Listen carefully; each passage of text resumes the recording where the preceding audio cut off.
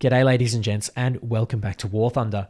Today, we're going to have a look at a plane that requires a fair bit of patience to get off the ground, but once you do, it pays off in dividends. This is the Mustang Mark 1A, and this is a pre Merlin version of the P 51.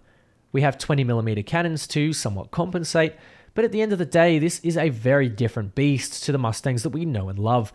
The P51s have very, very strong engines, decent climb rates, and of course they have very good high altitude performance, whereas the Mustang Mark 1A has none of that. But before we get any further into the video, I'd like to tell you about today's video sponsor. This video is sponsored by Opera GX. Most browsers are boring, but not Opera GX. Opera GX is packed with features that genuinely enhance and customize your browsing experience, particularly for gamers just like you. Opera GX has unparalleled levels of customization, accessible through GX mods, where you can have everything from giving websites the Mexico filter to wallpapers. They even have the option for background music. Don't you feel nice and calm?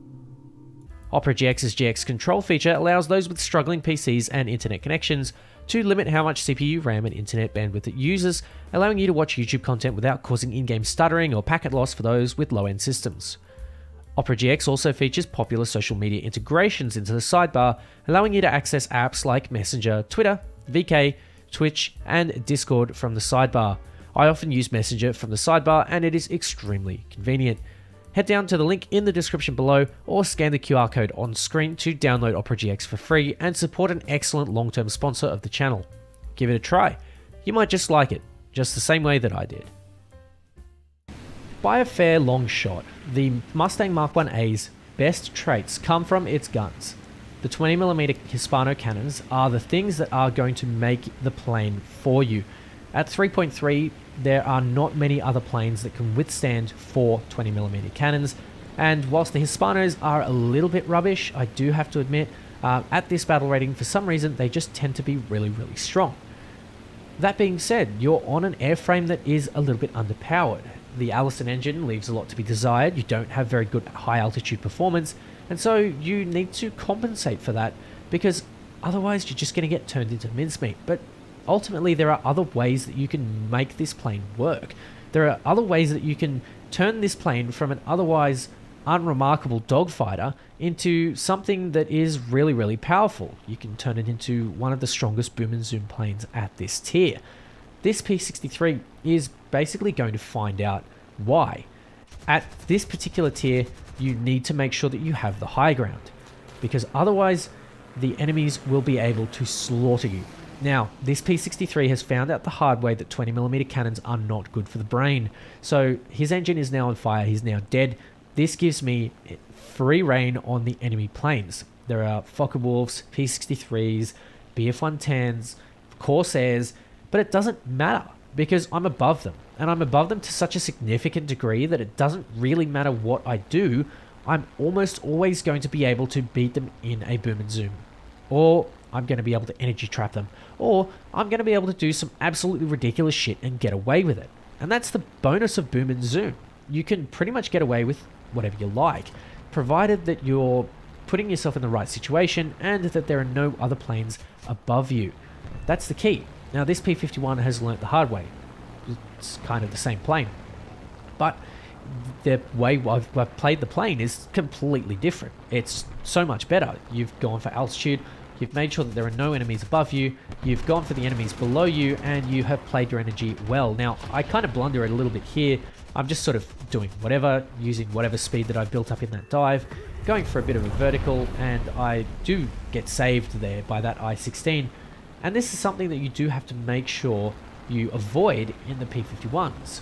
You have to make sure that you prioritize your targets. You have to make sure that you still have enough energy left because this thing bleeds a lot of speed in turns and is a big fat boy. So you've just got to play it properly. You can't be an absolute lemon about it. And that's kind of what I was like here. But I still got away with it. You might wonder why and how. And the answer is quite simple a numbers advantage. If you can swoop in, pick up one, maybe crit another, maybe kill a third, and you have enough teammates around you that are also doing the same thing, you can very easily overwhelm your opponents to the point where it is an unfair fight. The Mustang Mark 1A prides itself on boom and zoom, and it prides itself on being able to store its energy in a climb and use that in a dive, opening up with 20 mils, getting a quick burst in, and then jetting off to safety. And that's the key with this plane. It's extremely simple, and yet it's very, very uncommon. And you might wonder why that is. And I would say that one of the main reasons is patience. It is difficult to play this game patiently, and that's one thing that a lot of new players need to figure out very quickly. Otherwise, they'll find themselves in situations that do not benefit them very rapidly. And that's exactly what's happened to the Cannon Stang earlier. That's what happened to the A36, the BF-109, the Focke-Wulf 190, and the P63s. Everyone's finding themselves in situations where they don't have the energy to compete. And the Russian planes that naturally climb better are going to end up with a better result. And you might think, well, that might be Russian bias, but no, it's just playing the plane wrong. The P63A here is also playing his plane wrong, not pulling off after a head-on, but of course, you know, most of this can be kind of forgiven because I would assume that these players are somewhat novices. But this goes to show that when you are learning War Thunder, there are several important things that you need to consider. You need to make sure that you climb. You need to make sure that you don't fully commit to head-ons. You need to assume that your enemy is running stealth belts all the time. These are things that you will only learn with experience or by watching YouTube content like you are now. This P63 is also in the same boat, sitting at basically sea level, and I have heaps of speed, heaps of altitude to play with. Um, I am just going to go for a cheeky head-on, and the reason is because he's the last guy left, practically. Um, but also, there's nothing more to it. This guy's fully committing, uh, and that's pretty much all she wrote. A very, very simple six kill game, and all I did was get the high ground. Once you get the high ground, it's pretty much all over. And that's all I can say for the P51 Mustang. It's really, really surprising how easily that works. And we're going to kind of demonstrate that again with this match here. Whilst this plane is not a good climber, it's still good enough. But you can also meet a lot of your enemies at this altitude and not really have a problem. As long as you are the highest one there, then it doesn't really matter. Again, we're on the same map, it's a similar situation. The Focke-Wulf 190 sets the A36 on fire, and that's fine. We've got a couple of enemy planes that are sort of trundling in, uh, and I'm just going to just sort of leisurely climb towards them. I don't want to do an aggressive climb because this plane needs a bit of speed. It doesn't really accelerate that well. It does in a dive, but certainly not in a straight line. And the J22 is extremely formidable if you get into a turning engagement with it. So I need to make sure that I don't. I'm going to go for a quick head-on, uh, get a kill there quite nicely. The I-16 and the P-51 here are my biggest threats. And this is what I've done. I haven't side climbed properly, I haven't gone and gotten my altitude properly, and I can potentially pay the price for that very, very quickly. This I-16 is unaware, and that is my saving grace. He's aware at the very last second, and of course these things are very slow, so I'm just going to spray away, get some uh, shots on target, and I barely escaped from that with my life, and it's really, really risky doing this sort of stuff. I'm not playing the plane properly at all, but how am I getting away with it? I am basically using the guns. The guns are the saving grace, and the Cannon Stang here is coming in. He's got the altitude advantage, and he is very, very easily able to snap onto my 6. I have a Kai 61 behind me. It's looking really, really dire, and this could very, very easily turn south. The Kai 61 just needs to land a hit on my engine, and I am done for. There's a P-51 sitting behind me, but unfortunately for him, he gets set on fire by a friendly, and there are several enemies that are potentially threats for later on. The Kai 61 pulls off, and this is where I get my saving grace. Like, I would have been completely dead if there weren't four allied players able to chase this guy away. You need to get your altitude. It's plain and simple. Now, I'm going to come and return the favour. The P-51 has flown underneath me. Um, unfortunately for the Kai 61, he has put himself in a bit of a shit situation here, and I'm going to just fire away, try and get some shots on target. It looks like he is pretty damaged, uh, but, you know, I feel a little bit of a personal vendetta towards that Kai 61 for chasing me all the way down. And so he can have some 20 mils. The P51 is now on the back foot as well. And it looks like he's just sort of uh, really struggling. He's got a Spitfire, he's got a Focke-Wulf, and he now has me to deal with. So it's uh, really, really looking bad for this P51. I managed to butcher all of my shots, but I'm pretty confident that that guy's going to go down like a sack of bricks very, very shortly. P61, that is another very spooky plane. I'm going to go for a quick cheeky head-on. I get a critical hit there and no fire, which means that I have to give chase to a P61, which will uh, probably have that 20mm turret up.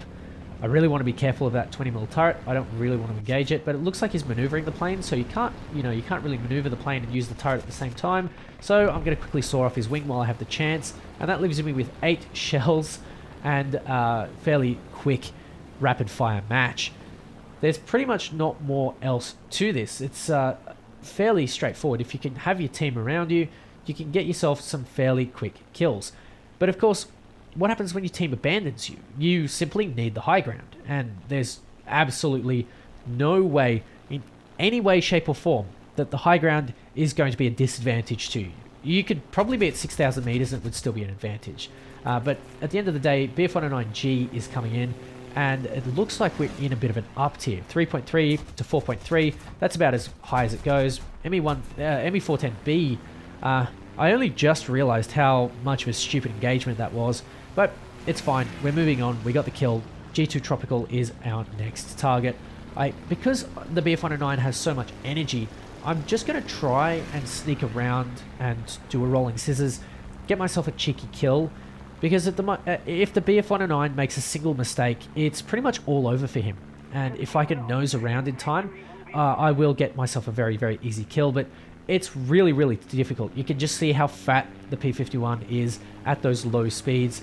The BF109G has so much energy though, that he's very, very close to completely overshooting me and absolutely butchering it. He probably should have gone vertical here, but judging by the way that this is going, it's probably going to go south for him very, very quickly. And there he goes. His left wing is very, very damaged, and he's spiraling down to the ground. And this is very, very lucky for me. I could have been very, very poorly off. Uh, it could have gone quite south. The BF-109 had quite an energy advantage on me. He just chose to squander it, and that is the only reason why I came out of that.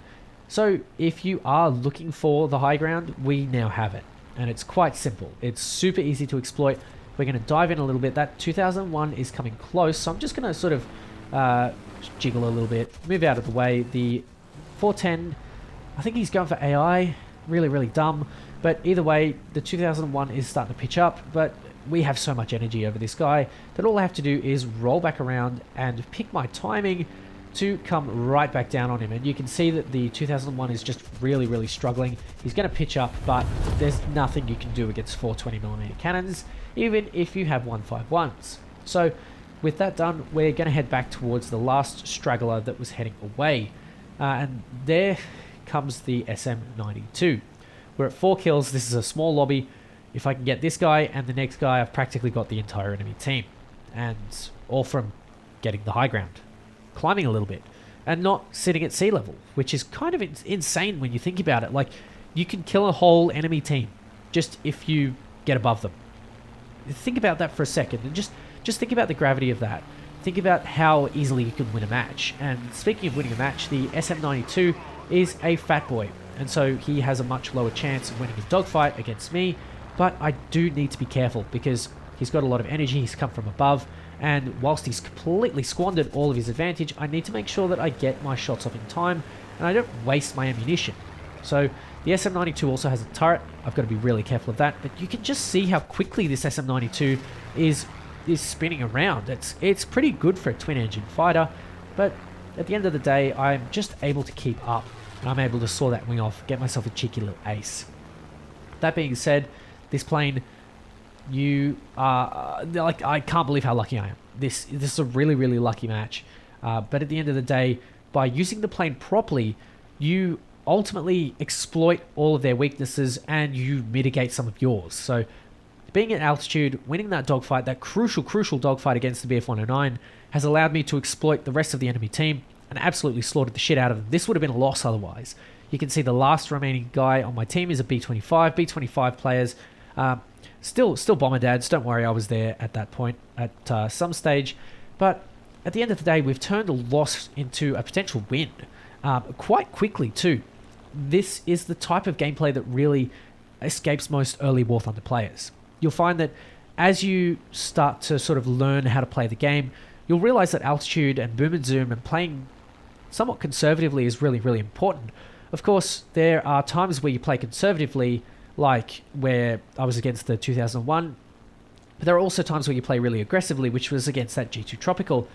these are the engagements that you have to sort of decide where you're going to take your steps. You have to make sure that you make the right decision. And of course, that does come with time and experience, but you can kind of figure it out. If you think about it nice and logically, if you are in an advantage, why would you do anything to squander that advantage? Why would you bleed energy? Why would you turn? Why would you be reckless? Unless you've got such a safety net behind you, like I did in the first game, there's really no reason to. So continue to boom and zoom. If you are in a disadvantage and you need to make that advantage very, very clear, you can do some things. Obviously, not not all things, but you can definitely do a couple of little things here and there to make yourself an advantage. It's difficult. It almost didn't happen several times in this video, but because I had teammates, because I had a backup plan, because I had altitude, I was able to do a couple of things. I was able to head towards the, my team. I was able to head to the, the deck. I was able to do things. And the P51 can facilitate that as long as you get the guns on target and as long as you get the altitude advantage. So, ladies and gents, that'll do it for today. Thank you so much for watching. Remember to keep